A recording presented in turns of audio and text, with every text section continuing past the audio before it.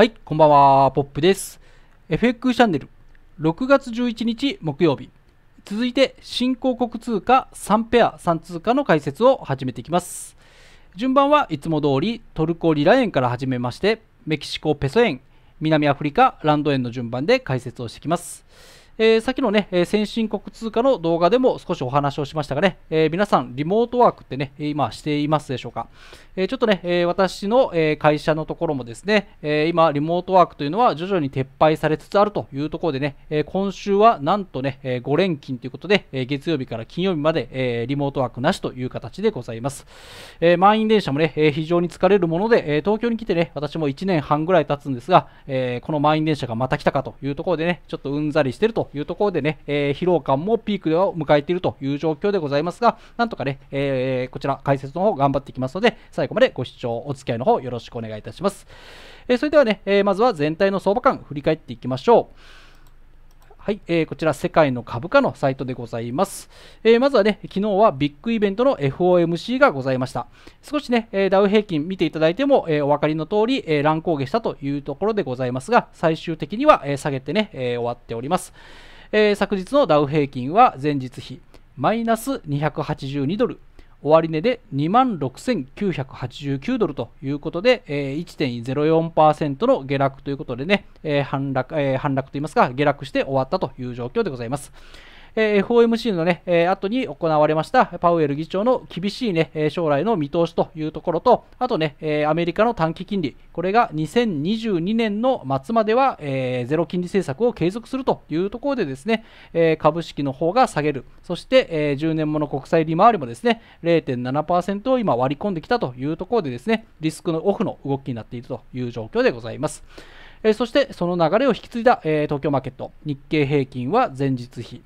マイナス652円。終値で2万2472円ということでね、えー、こちらはさらに大幅に下落という状況でございました。えー、もちろんね、えー、リスクオフということで、え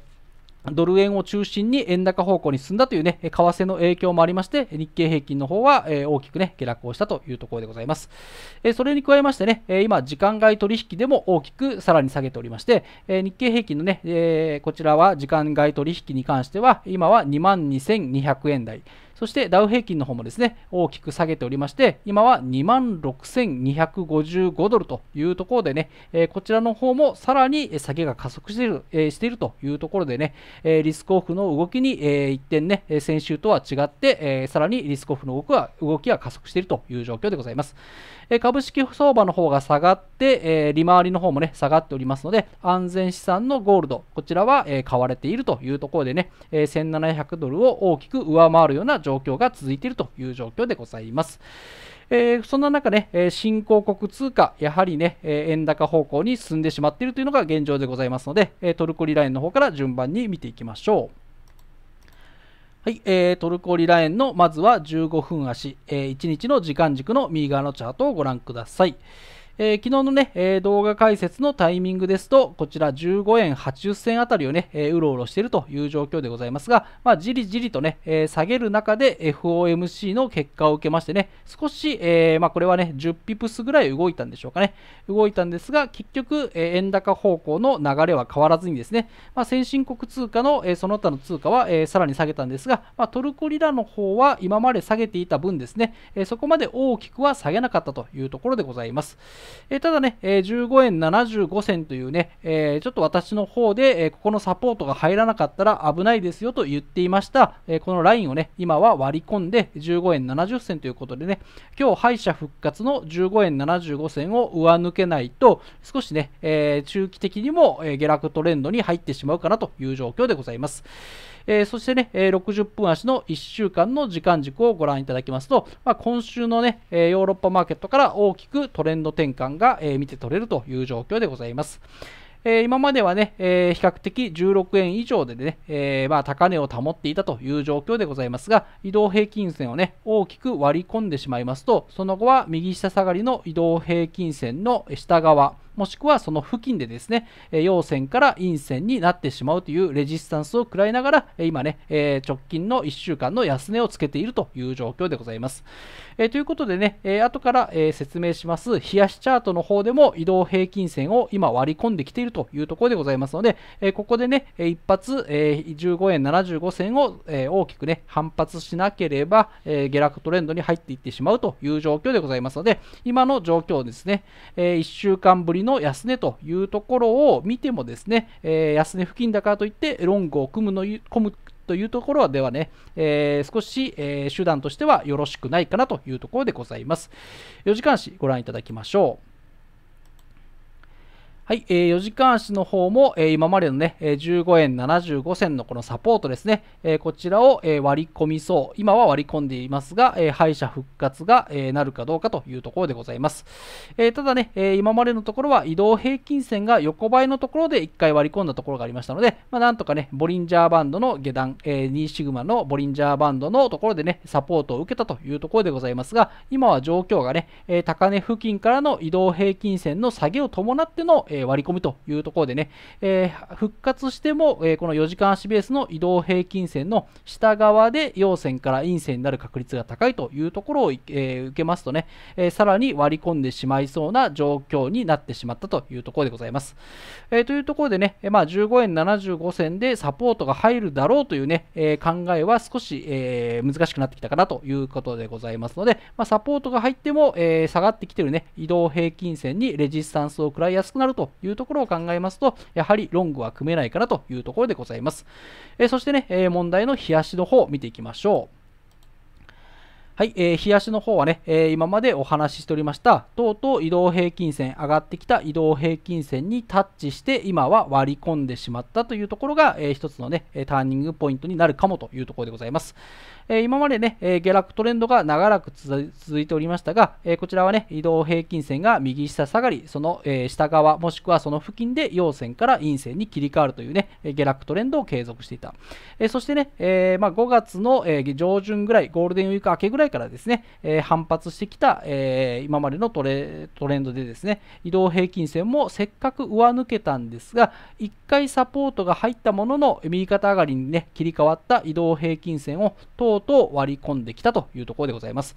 えそしてね、え今日、え復活で、え15円75銭を回復しなければですね、えこちら、え移動平均線の上側でね、陽線から陰線から陽線になるというところのね、え目論見みは外れてしまいますので、少しトレンド転換、えロングが取れなくなるかなという形でございますので、ちょっとね、え今日の終値に注目していただきまして、まあ、最低でも15円75銭、できれば15円80銭を終わる、えー、上回って終わることがなければね、えこちらの陰線が確定して反発も見られないという形になりますので、ロングが取れないという状況でございます。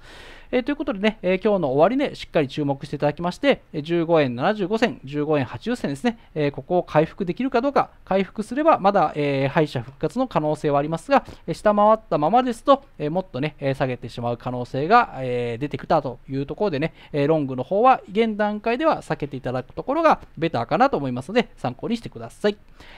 はい、えー、以上でトルコリラ円を終わりまして、続いてメキシコペソ円見ていきましょう。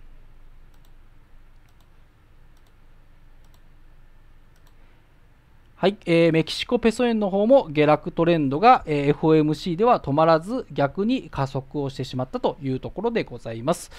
えー、昨日の動画解説のタイミングは4.9円の、まあ、少し上というところでね、えー、サポートが入るかどうかというところに注目を集めていたんですが、まあ、この FOMC ですね、一旦大きく触れた後にですね、えー、この移動平均線の右下下がり通りにですね、えー、下落トレンドが止まらずにですね、再度明確に割り込んでしまいますと、まあ、日経平均のね、ね下落も受けまして、えー、15分足ベースの移動平均線付近でレジスタンスを食らって、え下落が続いているというところでございます。えそして4.8円というところで、えー、一旦ね、ヨーロッパ時間サポートが入っていたんですが、え先ほど割り込んでしまいまして、えそれが逆にですね、え蓋をされているという状況の中で、4.8円、今日戻らなければさらに加速して下落が続いていってしまうというところでございます。えこれを60分足、1週間の時間軸でご覧いただきますと、完全に下落トレンドになっているところが見て取れます。え移動平均線がね、えー、まあ、先週末の、右肩上がりから右下下がりに今週に入って切り替わっておりまして、えこれもね、綺麗なように、えー、綺麗に、移動平均線の下側でですね、陽線から陰線に、切り替わっているというね、レジスタンスを伴った綺麗な下落トレンドというところでございます。えこうなりますとね、え少し、サポートが入って、えオレンジ色の陽線が出ましてもですね、移動平均線付近、その下側でですね、えトレンド転換、えーいわゆるレジスタンスになってしまいますので、下落トレンドはしばらくね、収まりそうもないかなという状況でございますので、トルコリラ円同様ですね、ロングを組むというところは安値付近だからといって取ってしまいますとね、もう少し下げたところではやられてしまうという状況でございますので、ロングの方は、取らない方がベターというところでございます。4時間足見てみましょう。はい、えー、こちらの方もね、えー、下落トレンドが続いておりまして、やはり、えー、上昇トレンドに比べまして、え下落の方は、え少しペースが速いかなというところでございます。えよくね、え階段を上って、え窓から落ちるというね、えチャートの例えをしますが、え上昇トレンドの時には比較的ゆっくりね、階段を上るような形でございますが、下落の方はね、まあこれでもまあ緩やかな方でございますが、やはり、え階段に比べて窓から落ちると言いますか、え下げは急だなというところでございます。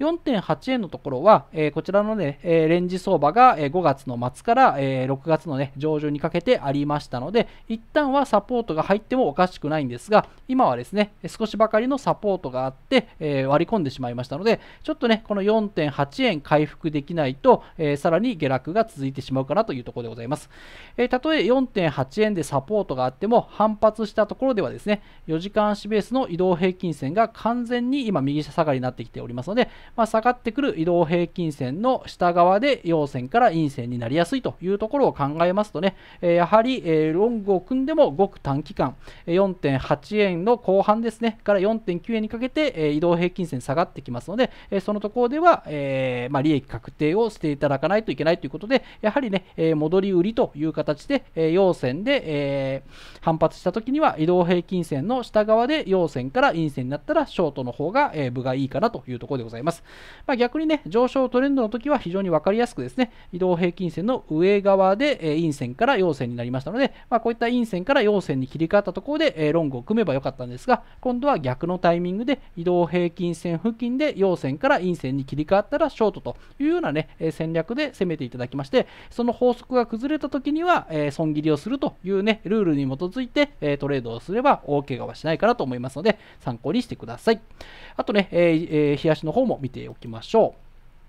日足の方もとうとうね、移動平均線が近づいて今上がってきておりますので、まあ、トルコリラ円よりかはまだね、移動平均線の上側に平均足のチャートが位置しておりますが、えこれもね、やはり4.8円ぐらいを、え上回って終わらなければ、えこちら下回ってくるのは時間の問題かなというところでございます。今までの下落トレンドから上昇トレンドに切り替わったんですが、え今回の押し目でね、移動平均線を割り込んでしまったら、えまたね、えさらに下落をしてしまう。逆にこの上側でね、え陽線に切り替われば高値を目指すという形になろうかと思いますが、ちょっとね、今の状況ですと反発は難しいかなという状況でございますので、やはり、えロングよりも戻り売り、ショート目線でというところで、えよろしいかと思いますので、参考にしてください。はい、えー、以上でメキシコペソ円を終わりまして、最後に南アフリカランド円見ていきましょう。はい、えー、ランド円の方は、まあ、新興国通貨の中では一番増しということで、えー、下落がね、えー、まあ、小さい幅で収まっているというところでございますが、ただね、えトレンドとしては下落トレンドに移りつつあるというところでございます。えまずは15分足、1日の時間軸でございますが、え昨日はね、レンジ相場が継続というところで、FOMC までは下は6.45、上は6.5の間をね、えうろうろしているという状況でございました。FOMC の時では一旦はね、上髭で6.55まで、えー、まあ、上髭、あくまでも上髭ですが、つけた場面もあったんですが、えー、その後ね、6.5円を下回って元のレンジに戻りますと、今日の、えー、東京マーケット5場からですね、え大きく、え6.45を割り込んでしまって、レンジがまず1段階下の6.4から6.45。そして、えヨーロッパ時間も深まってきたところで、え6.4のね、サポートを割り込んでしまって、もう一段階、えー、下に下がってしまったというところでね、えー、少しこちらの方も苦しい状況に切り替わってきたかな、レンジ相場から下落トレンドに、え切り替わってきたかなというところでございます。えそうなりますとね、え60分足ベースの、え移動平均線、今までは若干のね、え右肩上がりだったところから、え横ばいから、え下にね、え右下下がりに切り替わっている。えこうなりますとね、え反発しても、これ反発したところもありますが、移動平均線の下側で陽線から陰線に切り替わるというところがありますので、まあ、このような形で6.4円を割り込んでしまった。ここでたとえね、6.35でサポートが入っても下がってくる移動平均線の下側でね、えー、陽線から陰線に切り替わる可能性が強いというところでね、やはり、えー、直近のね、安値高といって、ロングは組んではいけない、えー、シーンかなと思いますので、えこの辺りはロングは現金というところでございます。4時間足ご覧いただきましょう。はい、えー、こちらの方もね、えー、今までの、えー、上昇トレンドとレンジ相場を繰り返しながら、えー、6.5をね、え、超えてきたというところでね、えー、上髭がね、え、際立って、昨日の FOMC の上髭が、え、目立っているというところでございますが、とうとうね、え、右下下がりの移動平均線に切り替わりそうだというところでございます。え直近ではね、えボリンジャーバンドも引き締まっておりまして、まあ、力を貯めていったという状況でございますが、こちらがね、ボリンジャーバンドが広がりつつあり、その下の方向にね、移動平均線が傾いておりますますので、やはりこの6.4円を下回ってしまったら、え今度はね、蓋をされてしまう可能性が強いという形ですので、え反発したところでね、え6.4円の今までのサポートが1回、2回ありましたが、今度はこの6.4円が逆にレジスタンス、えー、反発、えー、反落するラインになってしまうという形ですので、6.4円付近まで戻ってきたときにですね、えー、こちらが陽線から陰線になったところでは、しっかりとショートを組んでいくという形でよろしいかと思います。えその形がね、今後も続いていくと思いますので、まあ、それがね、裏切られたときには、え損切りをしていただければと思いますが、えそれがね、え続く移動平均線の右下下がりが続いて、そこでレジスタンスが食らってしまうというね、状況が続くことであれば、シショートねちっこくねちっこく何度もね、えー、同じパターンにはめて、まあ、いわゆるね、えゲームのはめ技みたいな形でございますが、えこういった形でね、ねちっこくショートを取る準備をしていただくという形がよろしいかと思います。えー、冷やしの方を見てみましょう。はい、えー、こちらはね、えー、トルコリラはすでに冷やしベースの移動平均線を下回っておりますが、まだかなりね、上の方にあるのが南アフリカランドでございます。えー、メキシコペソと比べましてもね、移動平均線よりかまだ乖離して、え上にあるというところでございますが、逆を言えばね、移動平均線ぐらいまでは、え十分にね、落ちてくる可能性があるというところでございます。まあ、そうなればですね、えやはり、え戻り売りという形で、まずは6.4円で蓋が入るかどうかというところを確認してですね、え蓋されるというところであれば、6.4円付近で陽線から陰線に切り替わるというところであれば、やっぱりショートを組んで、えこちら移動平均線の、ま、6.15から6.2円ぐらいですね、えここの辺りまでの下落を想定しながら利益確定を狙っていくというような状況でよろしいかと思います。えそんな形でね、え新興国通貨は総じてね、え戻り売りというようなね、状況になろうかと思いますし、え逆を言えばね、トルクリラあたりは今日あたり反発しないと、え中期的にも、え下落トレンドに移ってしまいますので、そのあたりを意識しながらですね、ご自身の相場感に合わせたポジションを取っていけばという形になりますので、参考にしてください。はい、えー、以上でね、新興国通貨3兄弟の解説を終わります。えー、今回の動画がね、えー、少しでも参考になったと、えー、役に立ったという方はですね、いいねボタンを押していただきますと、え、ちょっと週末疲れてる私のエネルギーにもなりますので、ぜひワンクリック、ワンタップお願いいたします。